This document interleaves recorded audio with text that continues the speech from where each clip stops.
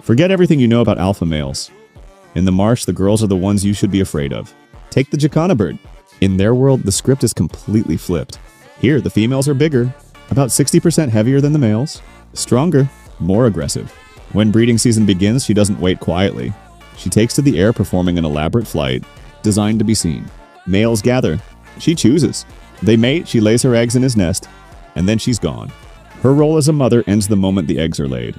The male stays behind, incubating the eggs, guarding the nest, and eventually raising the chicks alone. While he becomes a full-time single father, she's doing something else entirely. She's expanding her territory, mating with other males, patrolling an area as large as two football fields, fighting off rival females to keep control of her partners. But this matriarchy has a brutal side. If another female manages to take over her territory, she doesn't share. She finds the existing nest, the existing chicks, and she kills them, often right in front of the father.